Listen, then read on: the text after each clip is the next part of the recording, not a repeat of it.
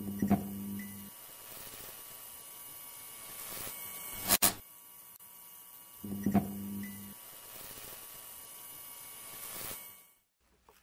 it going? This is Josh from Spawn Fly Fish. Today we are going to be tying the bent bait fish. And if you follow our blog for the last several years, you will have seen this pattern come to life. It's one that I've used many times with a ton of success. Uh, more or less, it's a candlefish, but you can also shorten it to be a simpler, smaller bait fish. So we are going to get after it. In the vise, we have a SA220 size number 8 and we just have some black thread. This one thread color is not as crazy important. I usually tie on either black or white. All right, so we got some feathers here off of a Ewing saddle. It's a chartreuse saddle if you if you look at it on our website, but uh, it's a pretty it's a pretty pastel short chartreuse. It's really just a light olive, but it's there. Uh, they classify it as a chartreuse. Um, but the picture the picture really showcases that. Um, so when you see it on their website or on our website, you'll know that's what we're talking about. I got two feathers here. Just tie one on either side of this hook shank and I want it to protrude about an inch off of this fly. Not crazy long, but if you've seen a candlefish, they do really squiggle around. So, something like so. You can see that one feather's a little messed up, but all right. And then the, this fly is really simple, actually. Uh, and how we're going to get started is much like how we start a lot of the flies that you see me use here in the Pacific Northwest is with some spawn Simi-Seal. And what I'm doing here, this is the standard, but I'm going to shorten this because I want a really slim profile for the tail section of this fly. I'm going to cut that even smaller here. And as you've seen before, I'm going to start the clump and dump. I'm just gonna tie it on here, veil it back, and work our way forward. And we're gonna get a couple little sections here of this Simi-Seal in before we add the bend, which coins the name the bent bait fish.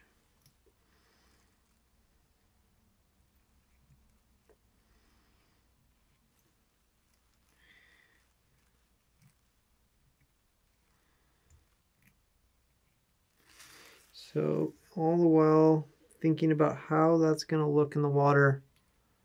And like I said, these candlefish are pretty slim. Look like little snakes almost in the water. So you don't want that tail section to be beefy by any means. It's almost too much here. I'm just to get a little bit more here.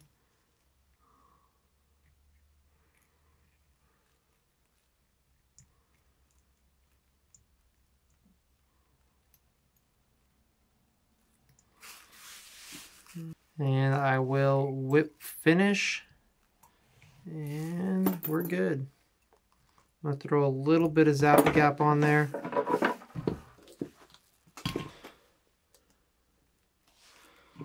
Just add a little bit of extra durability.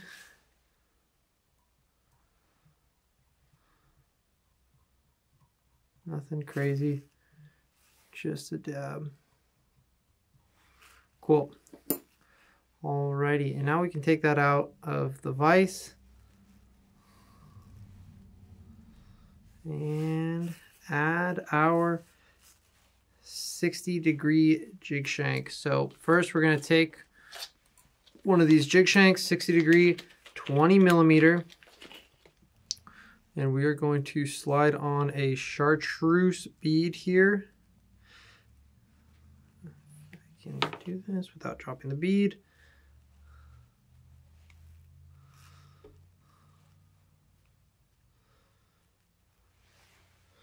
So we will have it like so. And we will place that back in the vise.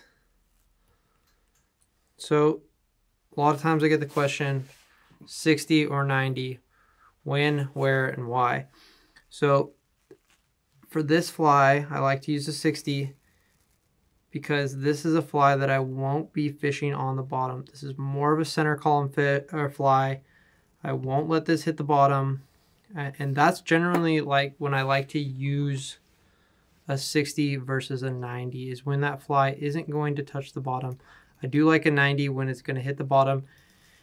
It'll be a more exaggerated jigging motion. It'll pop it up over an oyster shell, up over a clam bed. Uh, so that's generally when I'm using those.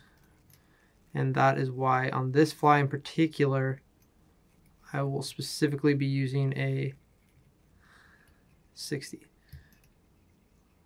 All right, so we got that all secure now. And back to the simi.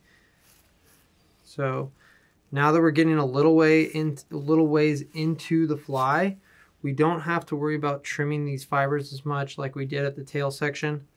Now we can just line up the fibers like so. Place here. And, and Simi-Seal tends to have kind of like a messy look when you're tying with it. And that's totally okay. Like, it's going to look great in the water. You will, you can brush it out. Uh, so don't fret over the fact that your fly might look or appear to be a little messy in the vise. This is not how it's going to look in the water. And that's something to always keep in mind when you're tying. So we're going to get this keep going here.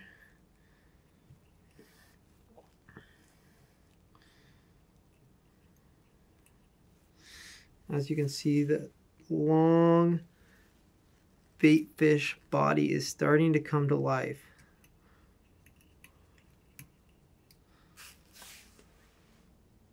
And that is exactly what we want here.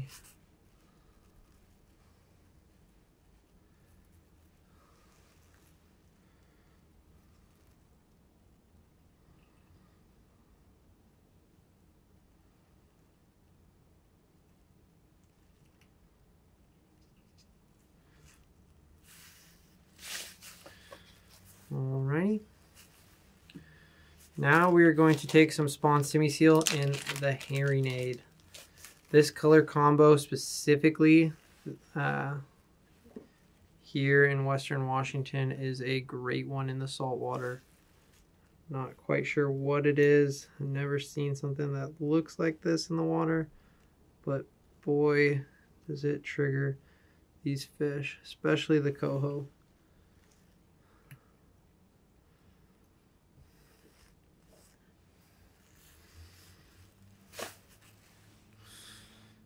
Get a little more this underneath.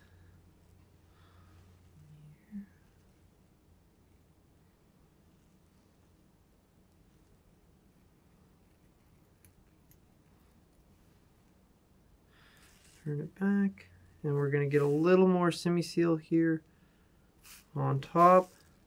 And then that's pretty much it. This is a really simple fly, like a lot of my flies. Um, but this thing is very productive. Sea Run Cutthroat, Coho, love this fly. Had a ton of success with this color pattern in Puget Sound and in Western Washington in general. So we're gonna add some wraps here, gonna beef it up a little bit. We're gonna whip finish. What's okay? You we have a bit of a thread uh, collar here, as you can see, but that's okay because we're gonna add some 3D eyes, and it's nice to have that base sometimes when you're sticking on one of these 3D eyes. So as you can see, this bait fish coming to life here. Take it out of the vise for a second. This is almost a little beefier than I like, but that's going to work really well. It's going to slim down in the water. And it's going to have that amazing tail action thanks to the platform that we tie it on. That is the Spawn jig shank. Alrighty, so we're going to add a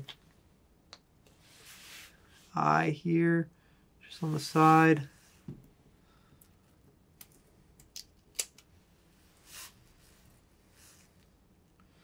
Ton of options for you on these eyes. They usually get chewed off pretty fast, but I do really like tying with them.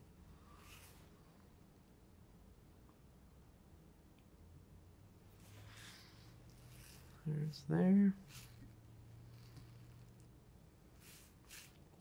So as you can see, when I'm adding these 3D eyes, I turn the vise on its side so that I have an easier platform to really just push down on when I'm adding these 3D eyes versus to squeeze. I like to push down versus squeeze. And if you tie enough of these, you will tend to agree with me, I would believe.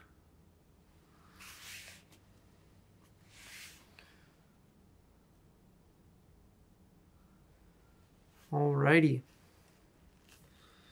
So that is that. This is the bent bait fish. This color pattern is specific. I would recommend utilizing it. And I believe that it'll bring you a ton of success. If you guys have any questions, feel free to reach out. And if you enjoyed this video, be sure to hit like and subscribe. Thank you all so much and have a great day.